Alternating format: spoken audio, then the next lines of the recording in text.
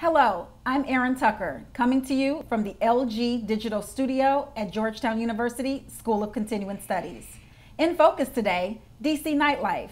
I'm joined by Shawn Townsend, the first ever director for Nightlife and Culture housed within Washington, D.C.'s Mayor's Office. Some have called him the Nightlife Mayor. Welcome, Shawn. Thanks for having me. Thank you for being here. Shawn, could you tell us a little bit about your journey to become the Director of Nightlife and Culture in DC? Yeah, so uh, it's quite interesting. I spent the last five years prior to this as uh, a supervisory investigator at uh, our city's alcohol uh, licensing agency. Um, and just, you know, uh, bumped into an opportunity to apply. Uh, went through a vigorous application process where uh, close to 500 other applicants um, were interested. Oh, wow. And uh, I started last December of 2018. So um, the journey has been quite uh, interesting, uh, so to speak. So I'm, I'm happy to be here. Wow, that is that's really great.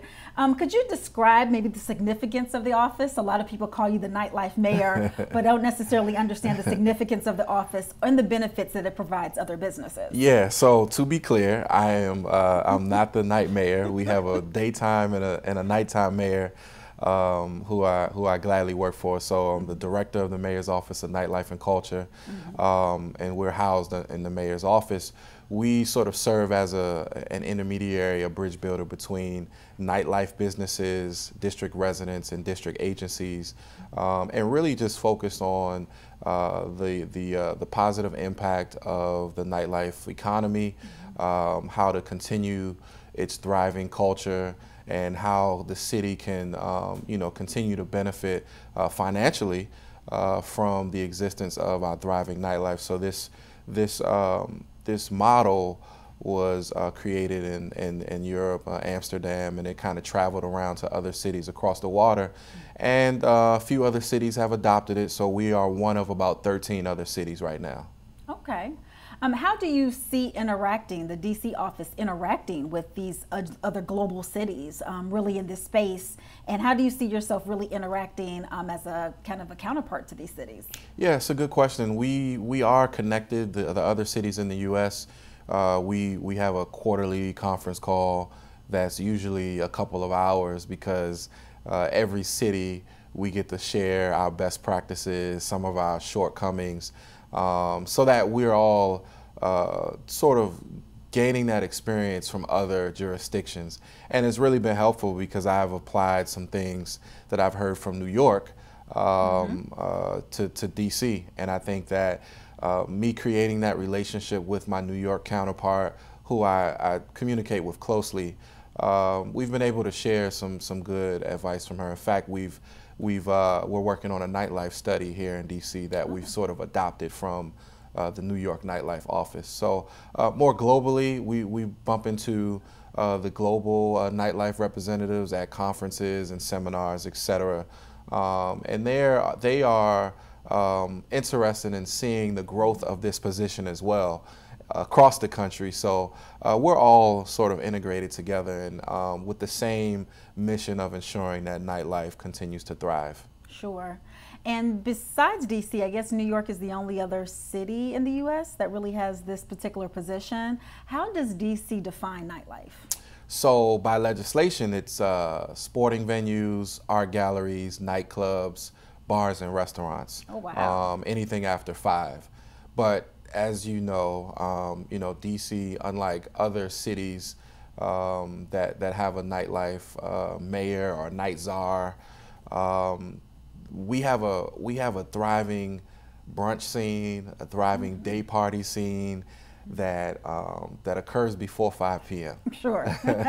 so uh, my my phone does not only ring after five. Uh, we have a lot of things going on before five as well. So it's robust. Mm-hmm. Uh, so I don't we don't you know stick to the legislation when it comes to you know dealing with issues, um, whether it's a resident or a business you know, we sort of just, you know, look at, we identify, um, you know, after five as well as before five as, as nightlife.